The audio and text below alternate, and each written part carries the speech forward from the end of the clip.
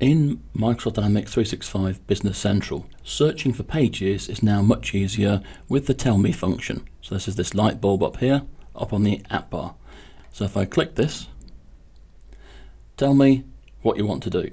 So this works really well. If you're new to the program, you could perhaps go fishing because you may not know the exact name of the page. So if I want to find some of the lists or some of the reports to do with customers, perhaps abbreviate the page, give it the start of the key term. So I'm now presented with three different types of results. The first section is it's finding the functions, the actions on this actual page. So there are three reports I could launch. They're on my role center that have the word customer in them. There's also underneath it, it's found specific pages or tasks that I may be interested in that have the words, well, the letters cust within their title. So it's picked the top three for me, and here it's telling me what kind of page it is referring to. So the customers list, straightforward. If I click the show all, there's actually 11 values that it finds that are the 11 list pages that may interest me. If I click show less, I'm back to the three so most favoured results. Underneath this, I've got the top three reports or report request pages that feature those that the term cust. And again, this is the top three results, but there's actually 22. If I click the show all, I can pick and choose from all the reports in the system that have the word cust somewhere in their title. Notice it doesn't have to be at the start, it could be within the term. It wildcards by default anywhere it finds those characters within the title. And to go to the required page or function, simply click the link. So now I'm here on a page with some real data. I can show how that function works specifically on a page. So again, if I perhaps give it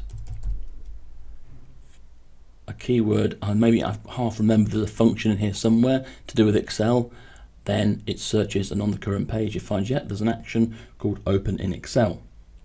And again, simply click that, just as if you clicked the action over on the command bar, click that, and it will export all the data we see in front of us out to Excel.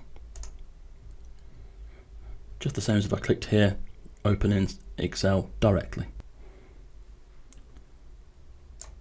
Here we have the result out in Excel. If I want to move on to further pages, again this tell me will help me search quickly for those other pages. If I don't really remember the name of the page, but I remember part of it, maybe I could give it part of the title. So it's a page that said setup in it somewhere. Well, that will give me quite a few. There's actually 50 pages. If you fancy scaring yourself, there's 50 pages that have setup somewhere in their title. So maybe I could narrow it down. It was something to do with the general something setup. Ah, yeah, general ledger setup. And then I click and go through to that page. Again, to close that page down, just click in the grey part here, or press the back arrow, or press escape. So further quick searching ideas using Tell Me.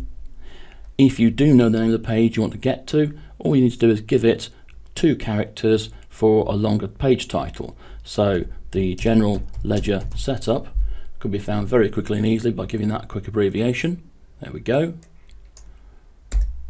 As could the posted purchase invoices. So tell me, give it your keyword, give it part of a word, and it will then find things on the page if there are any, some actions on the page, or other pages that are of a list or administration type, or reports and analysis.